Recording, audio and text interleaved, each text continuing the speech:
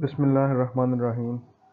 Uh, we had started uh, the non-communicable diseases uh, in our previous two sessions. We had talked about the uh, problem statement of non-communicable diseases, their epidemiology, uh, the amount of problem or the burden of problem or the prevalence of non-communicable diseases that is there in the world. Uh, and we had also talked about the need to focus on these problems because the prevalence we saw was much higher in the developing and non-developed countries and uh, therefore the morbidity and mortality was also higher in our part of the world and, and other developing and non-developed countries. We had talked about the four major categories of non-communicable diseases. As we know, there are many uh, non-communicable diseases, but the major four major categories uh, that we talked about were the cardiovascular diseases and the cancers and respiratory diseases and diabetes. Uh, we, we touched upon these four because these are the major contributors to uh, mortality and morbidity due to non-communicable diseases and these are the major uh, diseases among non-communicable diseases that are uh, responsible for morbidity and mortality. We had also uh, talked about in our previous sessions about the prevention strategies that are uh, that can be adapted to address this problem. And we had talked about the integrated approach the need for integrated approach and its uh, its importance. And we had also talked about the global action plan which has been uh, which was initiated by WHO uh, by the voluntary participation of all its member states. And we talked about the targets or uh, the goals set by that um, Global Action Plan 2013 to 2020. We also uh, talked about the risk factors that are common to these uh, non-communicable diseases. Obviously, each disease has its own group of uh, uh risk factors, uh, but there are uh, many risk factors which are common to all of these non-communicable diseases. We had talked about that. we also talked about the difficulties in prevention of non-communicable diseases uh, since uh, there is no known no known single agent for these diseases and these are called by uh, these are caused by uh, multiple factors. Uh, so we had touched upon all these things in our previous two sessions. Uh, from today we will be starting to look at these uh, non-communicable diseases individually and we will be uh, starting with the uh, hypertension today. Mm, hypertension as you know is grouped among cardiovascular type of diseases among non-communicable diseases. So let's start with the cardiovascular diseases. Uh, what are those? And then we will uh, talk about hypertension.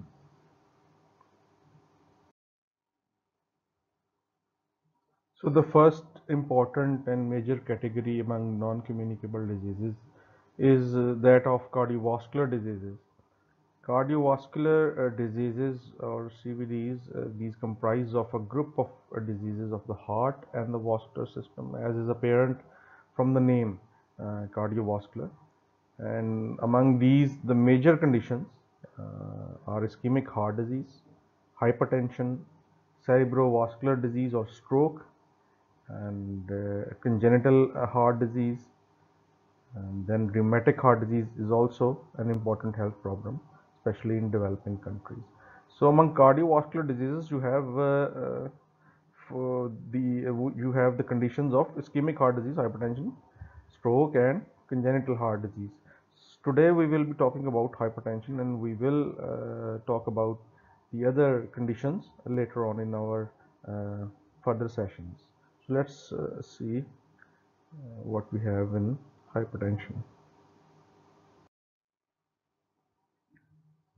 So before we start with hypertension uh, let me state that the cardiovascular diseases are uh, are responsible for a majority of the deaths uh, due to non-communicable diseases. And uh, both in the middle age group and in the older people uh, in uh, developed countries, heart disease and stroke are the first and second leading cause of death for adult men and women. So that can uh, that can show you the burden of these diseases uh, among the adult population of developed countries and the incidence of uh, cardiovascular diseases is higher in urban areas uh, than the rural areas and this can be uh, blamed on the acquisition of uh, risk factors. As the population moves from rural areas to urban areas it becomes more and more exposed to the risk factors which are uh, responsible for these uh, cardiovascular diseases. Hence the incidence is more in uh, urban areas. And these cardiovascular diseases are on the decline in the developed or industrialized countries which were the first ones to be associated with cardiovascular diseases by the way. But there uh, these diseases are now in uh, decline. Uh, the modern day epidemic of CVDs cardiovascular diseases in developed part of the world has already reached its peak and with the availability of more and more uh, remedial uh, measures or tertiary prevention uh, the the, the, the CVDs are on the decline in those parts of the world but that is not the case in developing and underdeveloped or non-developed part of the world here the uh, the, uh, the, the incidence of the cardiovascular diseases is on the rise and we are way off from the peak of the uh, modern day epidemic of CVDs. So as I said earlier, the middle and low income countries, uh, they are at the midpoint of the emerging epidemic and uh, they will face the full impact, uh, full impact of cardiovascular diseases in the coming years. We are uh, not yet there and uh, these countries since they haven't uh, yet uh, reached the peak of these modern epidemics they can benefit from the strategy of primary prevention if the primary prevention strategies for non-communicable diseases in general and cardiovascular diseases in particular is applied in our parts of the world in developing and non-developed parts of the world uh, there we can achieve great uh, success in controlling the uh, incidence of these cardiovascular diseases. The mortality rates are uh, the mortality rates that we see today, mortality rates due to cardiovascular diseases today. These are the consequence of previous exposure to risk factors uh, such as inappropriate nutrition, insufficient physical activity, and increased uh, tobacco consumption. Uh, for example, uh, if there was uh, increasing sedentary, increasing increasing trend of sedentary lifestyle in the previous 10 years or there is increased consumption of tobacco in the previous 10 years or a decade back, a decade back or the nutrition had changed from healthier to non-healthy uh, habits in the previous decade. Uh, so all those effects of previous 10 years are uh, coming to life now. The mortality that we see today is the result of all the risk factors that were uh, that we were exposed to in the previous 10 or 20 years. This is called a lag time effect of risk factors for cardiovascular diseases. So if somebody asks you about the lag time effect of uh, risk factors for cardiovascular diseases uh, you can explain the uh, that the term means that the uh, morbidity and mortality due to cardiovascular diseases today is due to the exposure to risk factors much earlier 10 to 20 years before today. So that was a brief, uh, very brief, in fact, introduction to cardiovascular diseases, the diseases of heart and uh, vessels. Uh, which are a major category of uh, non-communicable diseases and a major contributor uh, towards mortality and morbidity to, due to non-communicable diseases. So we said that in non-communicable diseases, ischemic heart disease, hypertension, uh, congenital heart disease, etc. are the important conditions. So let's uh, start with uh, one of the conditions which is hypertension a very very important topic among uh, non-communicable diseases. So hypertension is a chronic condition of concern uh, due to its uh, role in the causation of uh, coronary heart disease uh, ischemic heart disease, stroke and other vascular complications. So hypertension, uh, which is a chronic condition, it can lead to many complications, many life-threatening complications, many fatal complications. Uh, among those are coronary heart disease, stroke and some of the others. It is the commonest cardiovascular disorder by the way. We have just talked about cardiovascular disorders. Among those the commonest is hypertension and it is a major public health challenge uh, to population in socioeconomic and uh, epidemiological uh, transition. As the populations transition from low socioeconomic to higher socioeconomic standards and uh, the the challenge of uh, the public health challenge of hypertension becomes uh, greater. It is one of the major risk factors for cardiovascular mortality which as we know accounts for almost uh, 50 to uh, sorry 20 to 50 percent of all deaths. So it is one of the major risk factors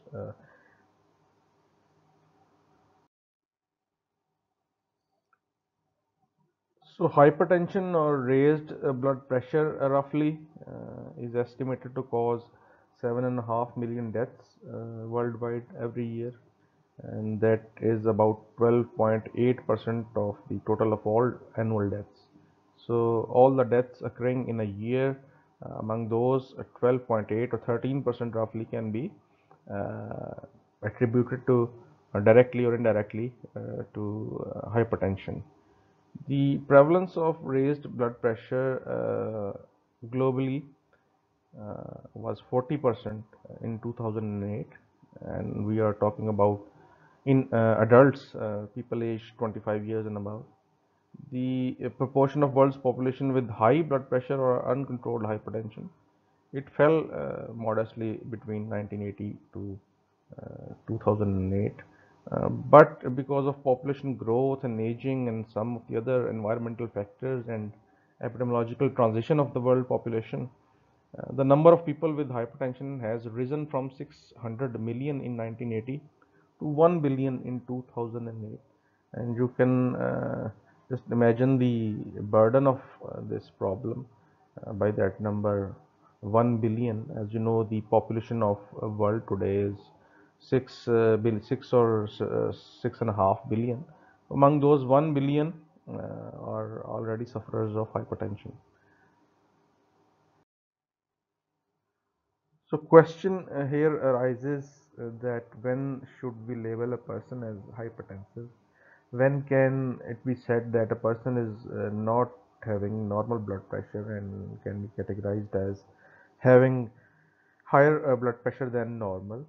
Uh, the thing is uh, the there is no uh, cutoff value there is no uh, one cutoff value for that uh, purpose we know that Uh, if we plot a curve uh, of the world population according to their blood pressure we will uh, get a bell shaped curve we can definitely say that with the rising blood pressure there is a definite increase in the incidence of many of the complications of uh, hypertension, uh, for example, ischemic heart disease. But what exactly is the cutoff point uh, is debatable. There are many associations, Heart Association, World Heart, American Heart Association. There are some British physicians associations.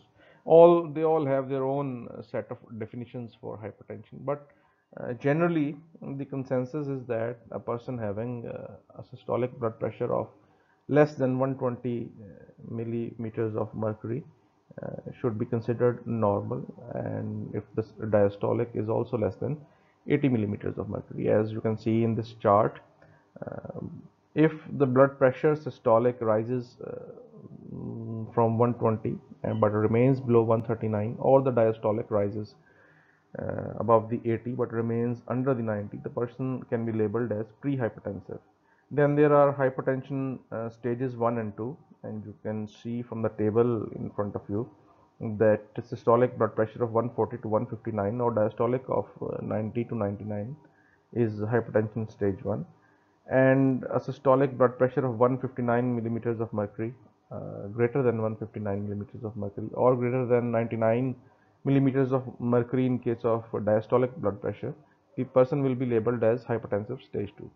Uh, the thing is, uh, if any of the values, uh, the person does not need to have both the values raised. If the diastolic is raised from uh, 80 millimeters of mercury, uh, you can, and, and the diastolic uh, only is raised, systolic remains the remains below the value of 120. even then, you will label the person as prehypertensive or hypertensive or if only the systolic blood pressure is uh, raised more than the cutoff value given here. And the diastolic remains below the cutoff value. Even then the person will be labeled as uh, as having a hypertension. Uh, in case of uh, raised systolic blood pressure only and normal diastolic blood pressure it is called isolated systolic hypertension uh, which can be properly defined as a systolic blood pressure of 140 millimeters of mercury or more and a diastolic blood pressure of less than 90 mm of uh, mercury. As you can see in hypertension stage 1 the cutoff value is 140. If a person has a raised systolic blood pressure uh, above 140 but the diastolic remains uh, below uh, 90 even then the person is labeled as hypertensive and in this case he or she will be called as having isolated systolic hypertension. The measurement of uh, blood pressure is a bit controversial and in the past we have seen that uh, the discussion continues about about the methods that are used to measure blood pressure uh, their reliability and their uh, and the vari vari variability seen in individual subjects uh, by using those methods so uh, there is a problem of blood pressure uh, measurement uh, with the methods that we usually use uh, and it becomes even more important uh, because we know that accurate measurements are essential uh, for valid comparison between groups and persons. So uh, the errors that can arise in recording of blood pressure are of three types or varieties. There can be observer error, errors, the hearing acuity of two persons is not the same. So and the interpretation of the sounds the Korotkoff sounds that you hear with the stethoscope while uh, measuring the blood pressure that can be different. So there is a lot of subjective variation uh, that gives rise to observer errors. Then there are instrumental errors. If the instruments are not properly calibrated or they are not functioning properly or they are defective there are leaking valves or cuffs that do not encircle the arm or the cuff uh, is not applied uh, correctly to the arm uh, then there are instrumental errors that arise. So that can give rise to uh, errors in measurement of blood pressure. Then there are the subject errors for example the circumstances of examination. If a person has uh, uh, come to you straight from straight after running a mile and then asks you to check his uh, blood pressure or her blood blood pressure. The reading will be way off than what it uh, what it would be under normal circumstances. Similarly there are external stimuli such as uh, fear or anxiety. We know that when a patient comes to the clinic or opd uh, or to the doctor there is an element of anxiety and fear there. So that can cause the blood pressure to rise so these are the sources of errors in blood pressure uh, measurement and these remain a major problem in accurate uh, recording of blood pressure.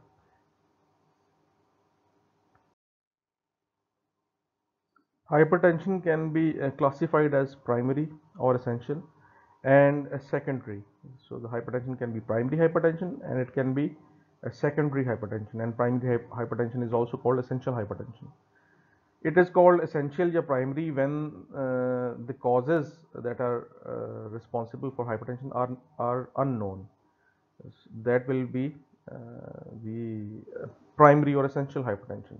It is the most common form of hypertension, the essential hypertension or primary hypertension and more than 90% of all cases of hypertension are of primary or essential variety. Secondary uh, hypertension is when some other disease process or abnormality is involved in the causation of hypertension.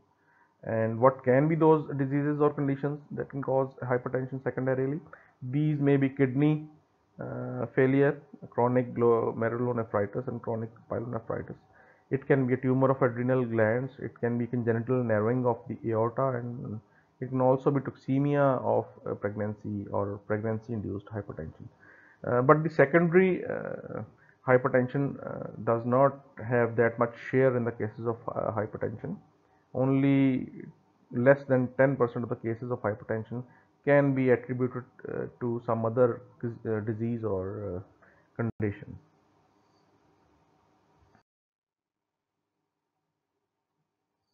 We know that hypertension is an iceberg disease. Uh, you have uh, read about the iceberg phenomenon in, in, in the previous session. Uh, you know that some of the diseases uh, that we encounter in the clinical settings, uh, the amount of the disease or the burden of disease that is encountered in the clinical setting is just the tip of these is, is comparable to the tip of an iceberg and the real burden of disease in the community is much more than that and that can be uh, compared to the submerged portion of an iceberg. So we know that hypertension is an iceberg disease as well. The number of cases that you come to know in the clinical settings of hypertension are uh, much less than the actual number or actual prevalence of the disease in the community. Uh, and we know that uh, for a long, uh, a rule of halves can be applied in this case. A rule of halves uh, for hypertension. It states that the or that the uh, only about half of uh, the people who actually have hypertension only about half are aware of their conditions or are diagnosed. And among those who are diagnosed or are aware of their condition of hypertension only half again are uh, treated. And among those treated again only half are adequately treated. So the rule of halves can be applied on hypertension on the prevalence of hypertension.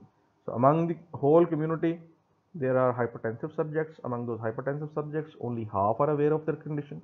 And among those who are aware of their condition, only half are diagnosed and treated. And among those who are diagnosed and treated, only half are uh, adequately treated and so on. So this is rule of halves, which is applicable to hypertension. Then there is another thing called uh, tracking of uh, blood pressure. Uh, if uh, blood pressure levels of individuals were followed up over a period of years from childhood into adult life, uh, you will see that individuals whose pressures were initially high uh, would pro probably continue in the same uh, track as adults. In other words, low blood pressure levels tend to uh, remain low and high levels tend to become higher as the individual grows older. With age, the initial high blood pressures become even more higher and this trend continues and with advancing of age if the person had low blood pressure or normal blood pressure uh, initially this, trend will continue uh, in the adulthood and with advancing age as well. The person will go on to have uh, lower blood, blood pressure uh, in the uh, old age as well. And this uh, phenomenon of persistence of rank order of blood pressure it can be described as tracking and this uh, knowledge is valuable since it can be uh, applied in identifying children and adolescents which are at risk of developing hypertension at a future stage in their life.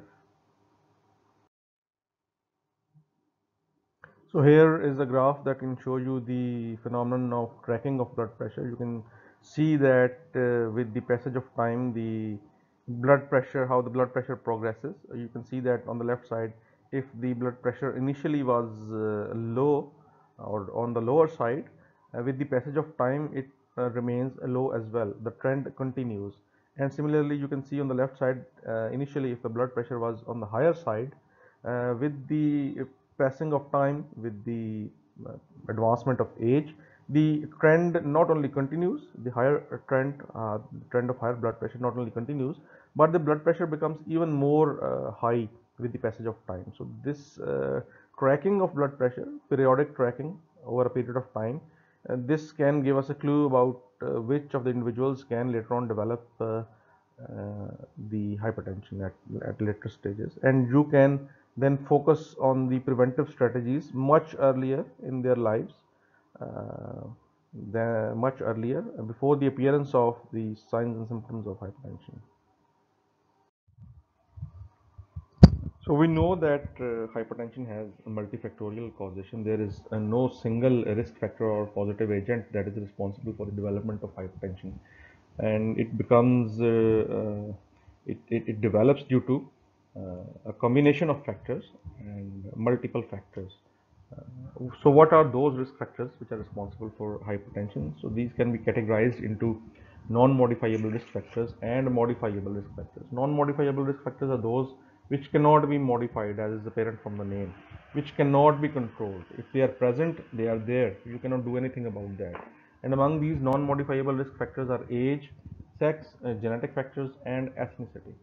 So first of all, age, we know uh, that with the, uh, advancing age, with increasing age, the blood pressure also rises.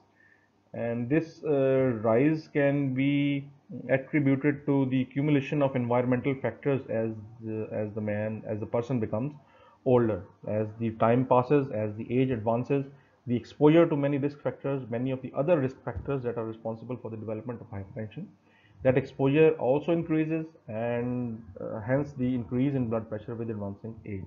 So this is one of the uh, non-modifiable risk factors. You cannot do anything about age. You have to grow old and the effect of growing old will be there. Then the second one non uh, modifiable risk factor is sex. We know that there is a little different in the early age a little difference uh, among males and females of blood pressure in the early age. But as we enter into adolescence uh, you know what adolescence is. We have talked about that uh, period in the phase of life as uh, the people enter into adolescence the difference in blood pressure becomes significant uh, or apparent. Uh, the males tend to have higher blood pressure than the females during the adolescent life. Then again into uh, old age this difference again disappears. And uh, it not only does it disappear but uh, in some of the cases or in many cases the females tend to have higher blood pressure than the males. Uh, some of it can be attributed to menopause. After menopause, uh, there are hormonal changes and there are also vascular changes in the females and that can result in the higher blood pressure uh, among them compared to males. So this is the second non-modifiable risk factor, uh, sex. Then the third one is uh, genetic factors. There, uh, there are multiple studies, there are enough studies, enough evidence available to suggest that the genetic uh, factors have a role to play in uh, hypertension in the development of hypertension. In fact we know that uh, among the children of people who have normal blood pressure or their normotensive among their children only 3% uh, children go on to develop hypertension. But if both the parents are hypertensive the chance of their child the chances of their child developing hypertension become as uh, high as 45 percent. So we can say safely say that uh, the genetic factors are responsible for the development of hypertension. Then the fourth non-modifiable risk factor is ethnicity. Uh, we know that some of the racial groups or ethnic groups are uh, they tend to have higher blood pressure than the others. Uh, important in this case are the African Americans or the black community. Uh, they have higher blood pressure compared to the Caucasians or the or the Orientals or the Asians or any of the other ethnicity. So African Americans have higher blood pressures. Uh, again, this is this ethnicity or racial factor is a non-modifiable risk factor. You cannot do anything about uh, this factor. So the non-modifiable risk factors for hypertension and now we move on to modifiable risk factors of hypertension. So the other uh, type or group of uh, risk factors that are responsible for the development of hypertension are uh, modifiable risk factors. Uh, modifiable as is apparent from the name are those factors which can be modified, they can be altered, they can be controlled and if we can alter or control or change these factors or make them disappear you can also control the uh, risk of uh, developing hypertension. So these are the factors that are very important from prevention uh, point of view.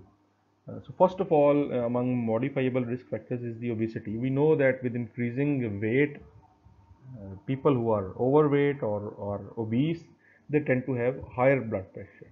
And In fact, we know that if an overweight person or an obese person reduces his or her weight, the blood pressure also comes down.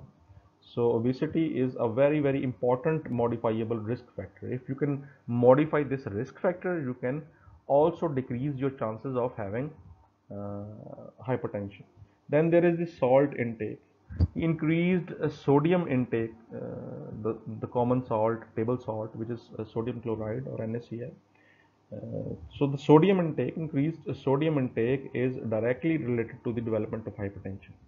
Uh, so much so that in uh, in communities or in countries where there is uh, there is cultural culturally increased uh, intake of salts there is also higher prevalence of hypertension and an example can be made of Japan in this case uh, Japanese they tend to eat more of the sodium not only in the form of table salt but also through seafood there is increased sodium intake among Japanese that can result in increased in incidence of hypertension.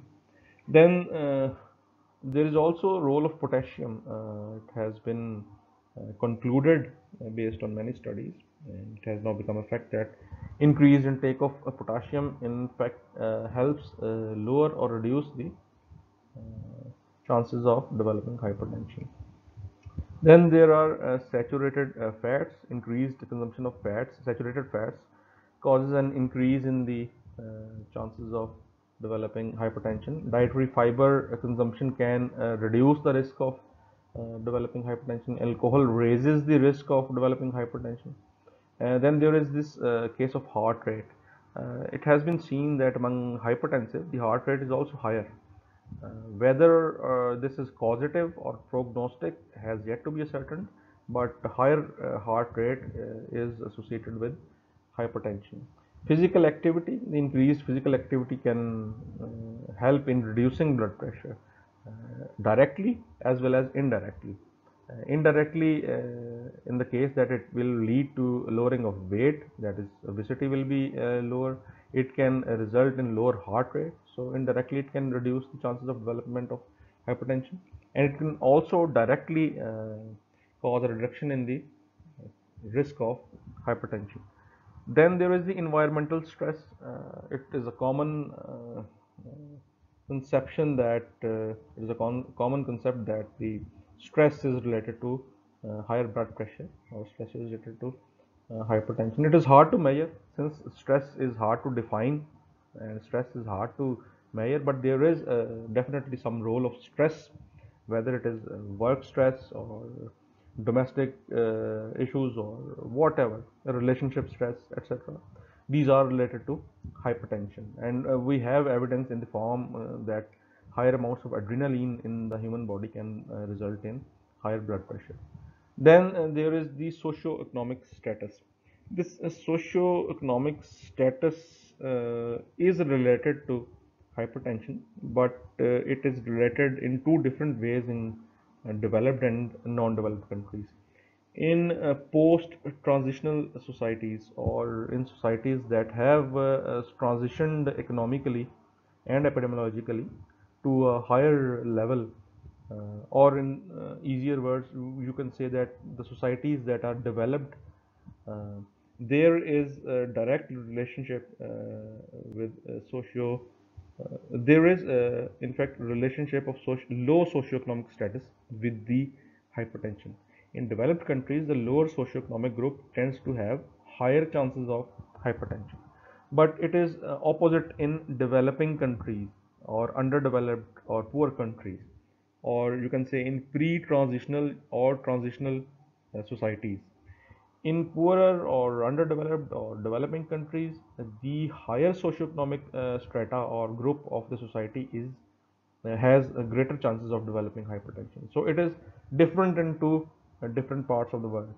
Uh, then there are some other uh, modifiable risk factors. We know that oral contraceptives are directly linked to the development of hypertension, and there are some other uh, suggested factors, for example, noise and vibration, humidity, etc uh, which haven't uh, been explored that much, but there are suggestions that these have an association with hypertension development as well. So these are the modifiable risk factors. Knowing these, is very important because uh, by knowing these you can focus on the preventive strategies.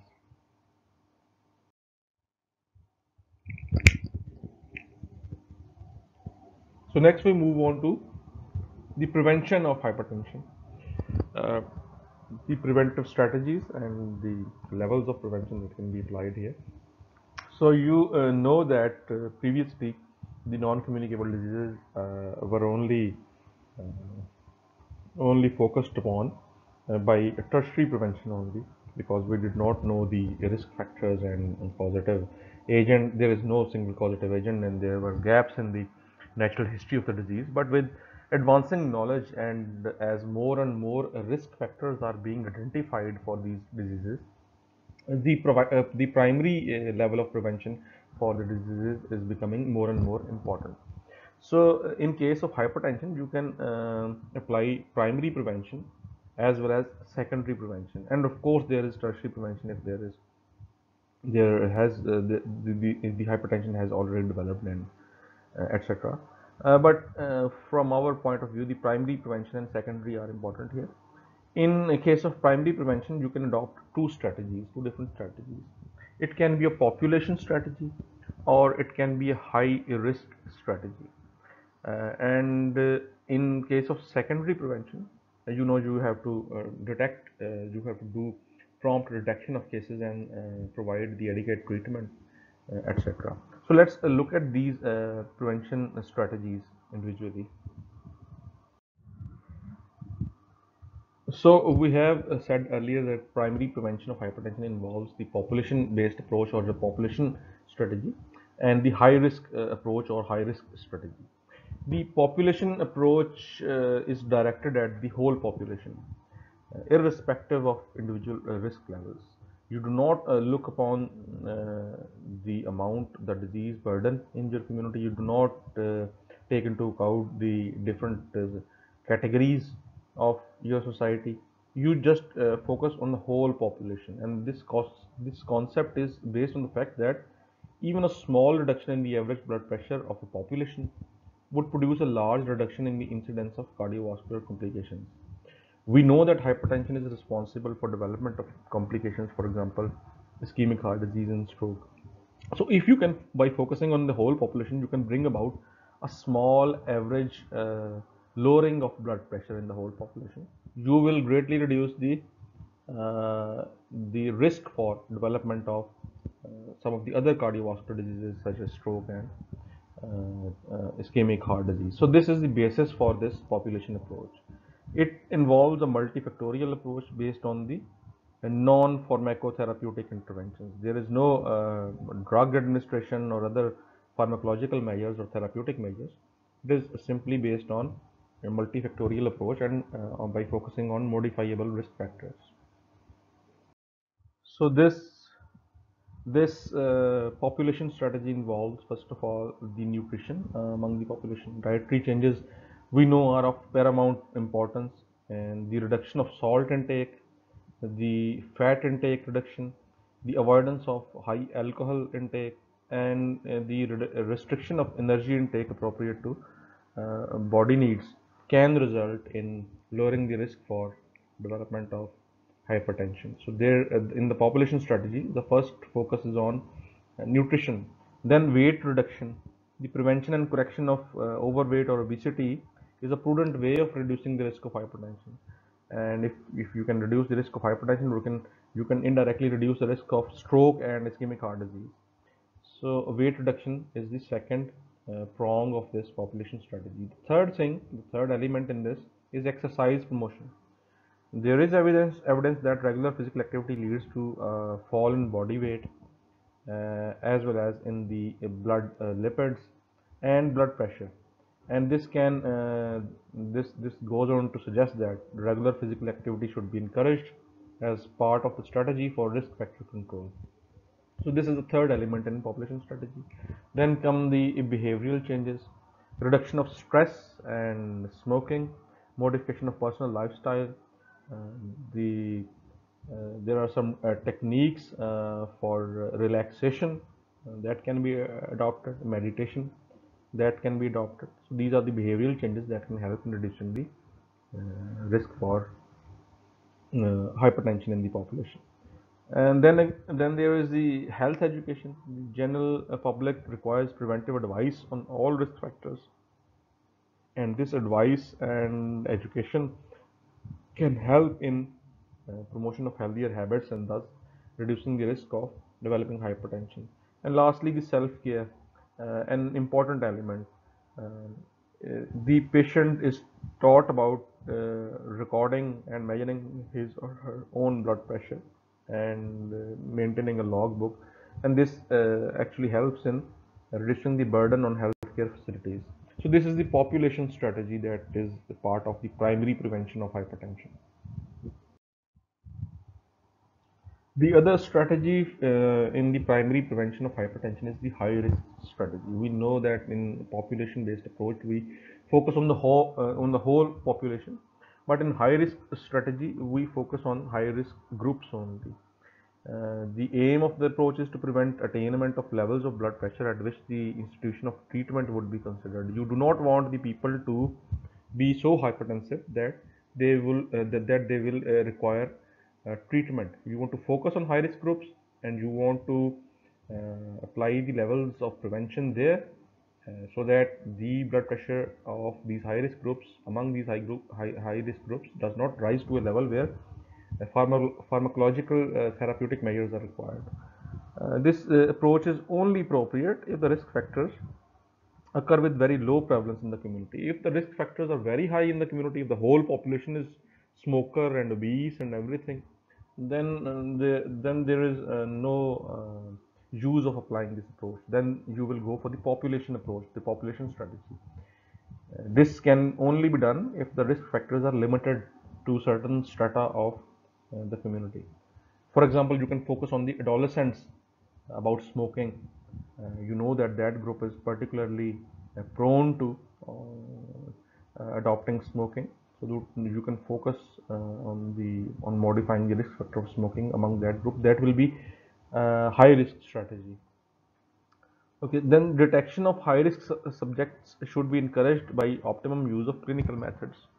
Since hypertension tends to cluster in families the family history of hypertension and tracking of blood pressure from childhood may be used to identify individuals at risk. So this is one of the ways by uh, which you can identify the high risk groups and then focus on the preventive measures. So we have talked about the primary prevention which includes the population approach or population strategy and the second one uh, high risk approach or high risk strategy.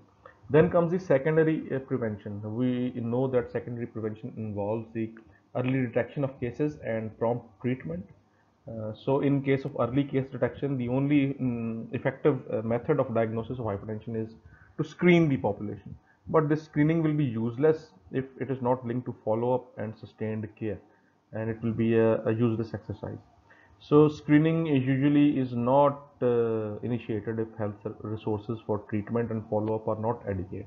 As is the case in our country, we do not have enough we do not have enough health resources uh, for either treatment or follow-up or whatever. So we cannot uh, you know um, apply this uh, screening method in in our in our scenario. Then the second thing we know in secondary prevention is the prompt treatment. Now, this is important. The aim of treatment should be to obtain a blood pressure below 140 by 90 and ideally a blood pressure of 120 by 80 so if you can control the hypertension by giving prompt treatment you can also control the uh, risk of developing ischemic heart disease or stroke and other complications of hypertension. If the hypertension is controlled, if you do not let it go above certain levels by using some drugs, uh, pharmacological drugs, etc., then you are also reducing the risk of complications of hypertension. So this is the uh, part of uh, secondary prevention. Then uh, you have to ensure the patient uh, compliance the treatment of high blood pressure uh, you know is uh, lifelong and it is not like you the patient takes the drug for six months and then quits uh, taking that drug and etc you have to ensure the patient compliance that he or she keeps on taking that drug or whatever measure you have advised him or her to uh, lower her blood pressure or his blood pressure. So that is the third part of secondary prevention which is very important uh, to prevent hypertension uh, to prevent the complications of hypertension. Since it is secondary preven uh, prevention, the hypertension is also already there. You just do not want to uh, get it. Uh, you just do not want to uh, have the complications of hypertension. So that is what the focus of secondary prevention in this case is. So we have talked about hypertension today, and we have touched upon the cardiovascular diseases uh, among non-communicable diseases and we have in detail studied the hypertension its uh, epidemiology uh, the, the, the, various phenomena that are unique to it. For example rule of halves we have known about tracking we know that initial uh, initially higher blood pressure tend to be uh, tend to progress uh, as it is in the older age. We have read about the risk factors. We have known about the prevention strategies. So hypertension in non-communicable disease is done today. In the next session, we will uh, we will uh, see some of the other non-communicable diseases.